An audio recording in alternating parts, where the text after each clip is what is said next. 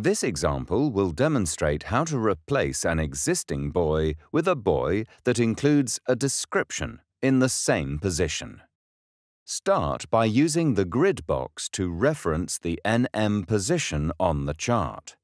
Then, using the latitude and longitude guides on the tracing and the chart, lay the tracing to its exact location. Using a 7H pencil, mark the start and end of the description text. Remove the tracing to reveal the chart. Using a 2B pencil and a ruler, draw a straight guideline between the marked points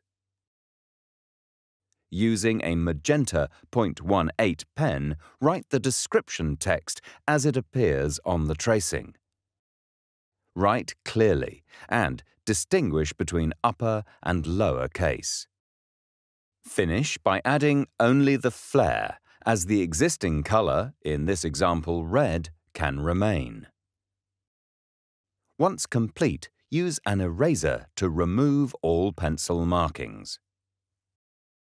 Now lay the tracing back over the chart to check that the correct description has been added in the correct position. Once all the updates have been applied, add the NM update number to the chart's Notices to Mariners section in the bottom left corner of the chart.